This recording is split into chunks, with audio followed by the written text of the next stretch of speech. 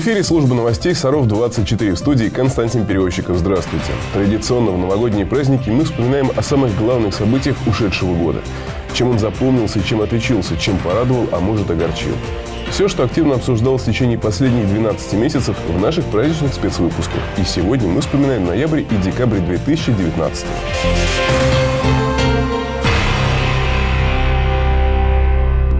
Новый центр притяжения. Все больше людей задумывается о том, что хотят жить в благоустроенном пространстве. В районе поймы реки Сатис продолжаются работы по комплексному освоению территории.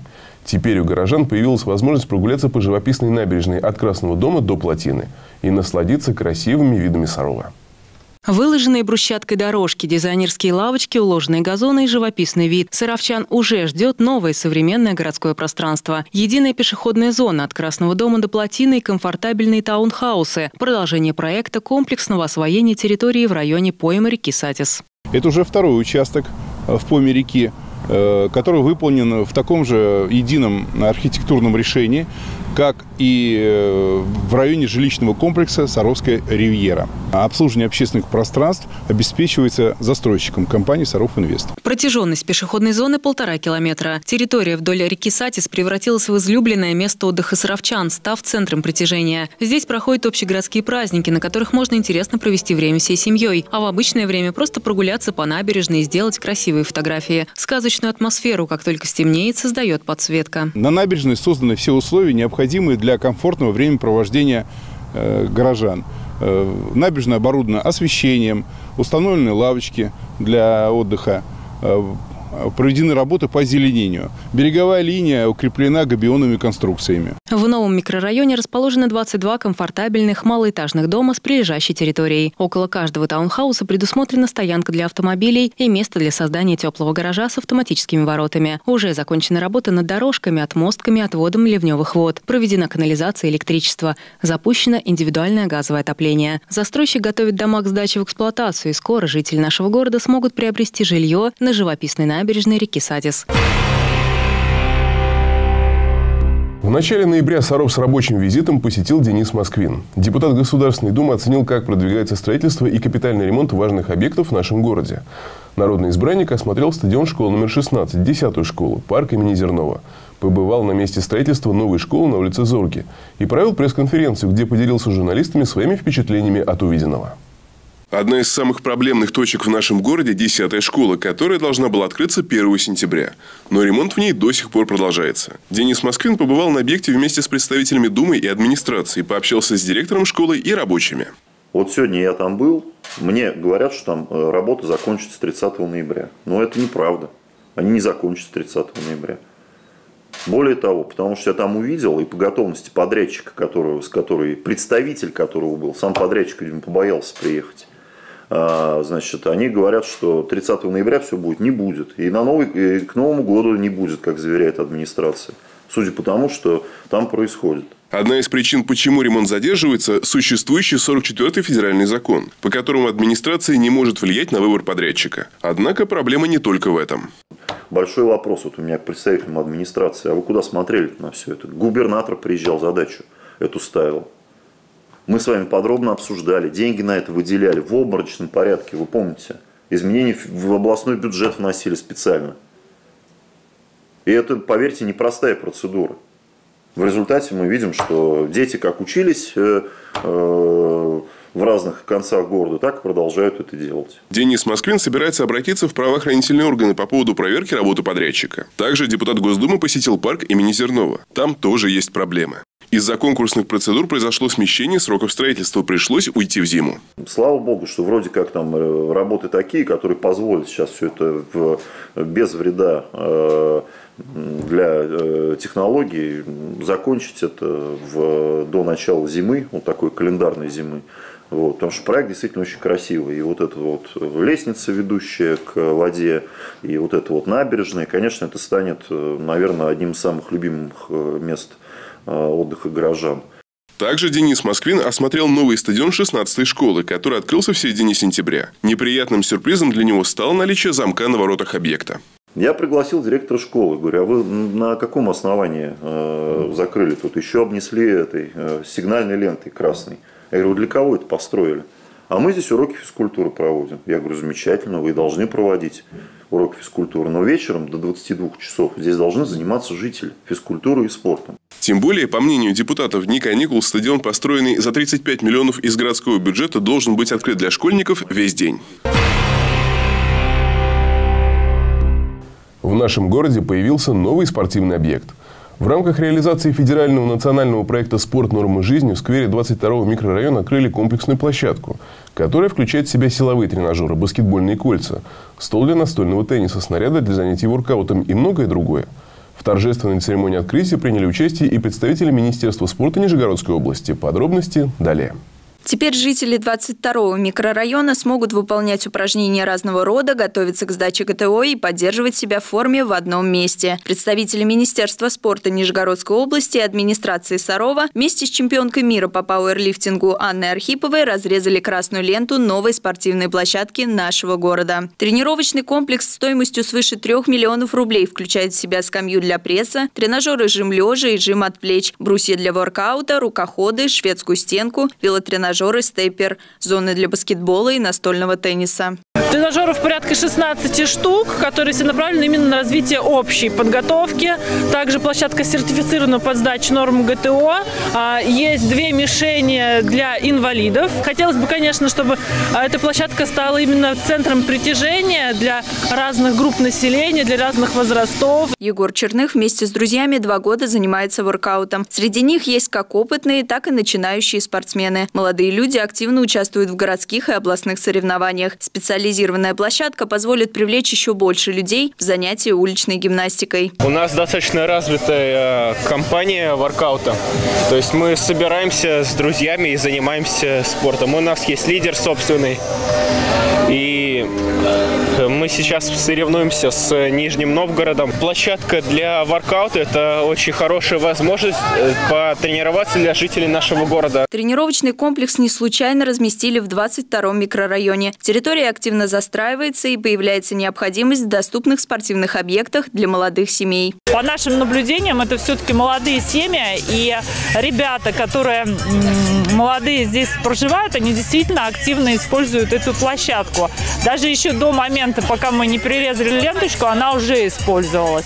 А, но и в перспективе а, все-таки у нас зарезервирован здесь участок под ФОК, поэтому мы надеемся, что это будет э, ну, одна из востребованных действительно горожанами площадок. В будущем году Департамент городского хозяйства планирует дооборудовать площадки системами освещения и видеонаблюдения, обеспечить свободным доступом к беспроводному интернету. В рамках нацпроекта «Демография» при поддержке Министерства спорта Нижегородской области на территории будут проводить бесплатные семейные тренировки и воскресные зарядки с опытными спортсменами.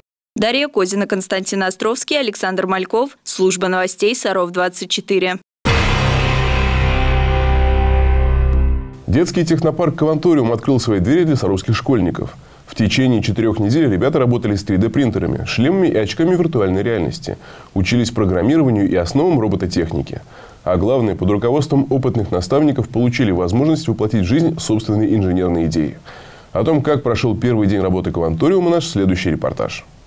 В Саров прибыл мобильный кванториум. В течение четырех недель школьники познакомятся с техническим творчеством и инженерными специальностями, поработают с квадрокоптерами, 3D-принтерами, очками виртуальной реальности, а также создадут собственные проекты в различных направлениях.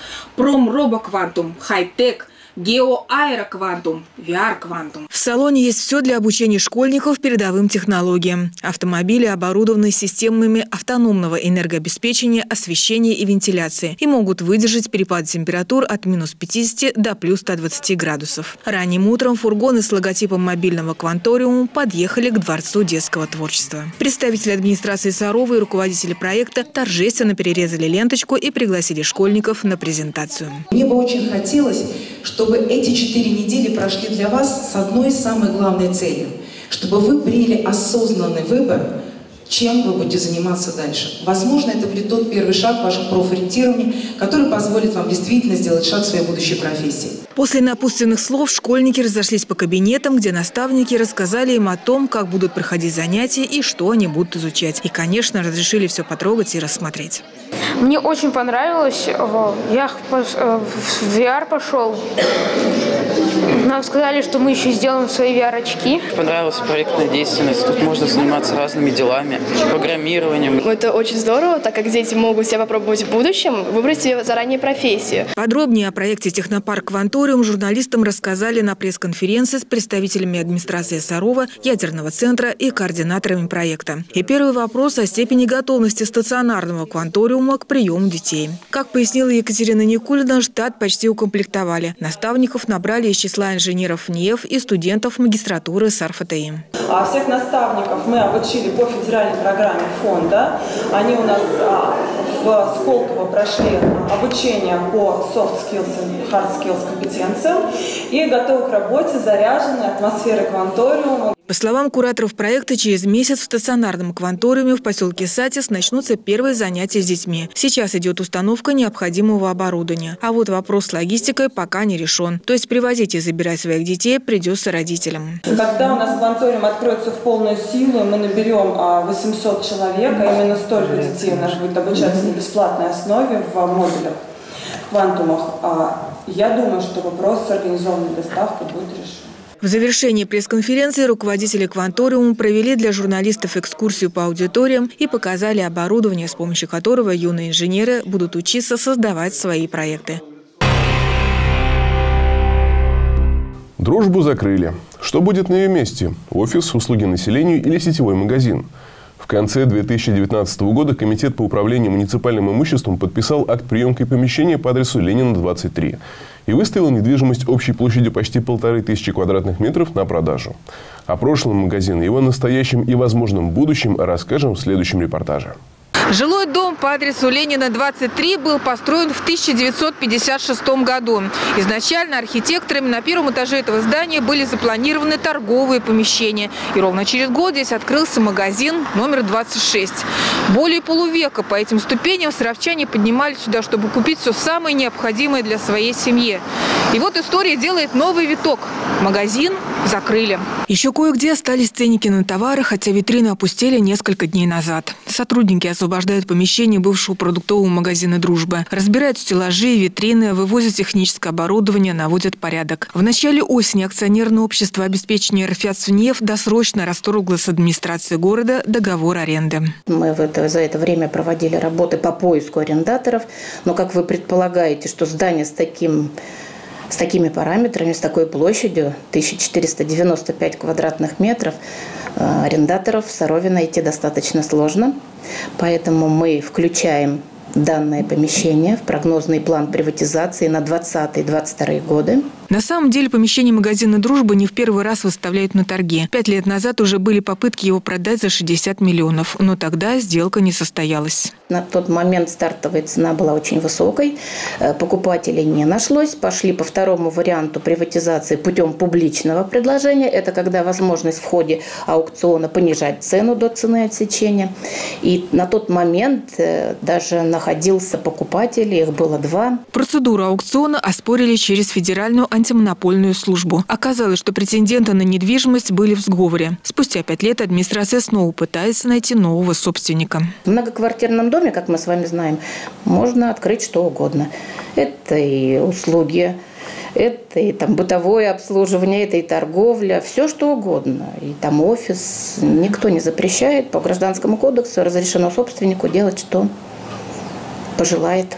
Сейчас говорить о цене помещения пока рано. Оценку будут производить после подписания акта приема передачи. Но, как отметила Людмила Тырсина, за прошедшие пять лет недвижимость такого назначения сильно упала в цене. Елена Грицкова, Евгения Шевцова, Александр Мальков. Служба новостей Саров-24. Такими нам запомнились ноябрь и декабрь ушедшего года. Ну а вспомнить важные для вас события 2019 и пересмотреть репортажи о них вы можете в любое удобное для вас время на нашем канале в Ютубе. Также все новости ищите в группах социальных сетях ВКонтакте, Фейсбук и Одноклассники. В студии работал Константин Перевозчиков. Всего вам доброго и только хороших новостей в наступившем году.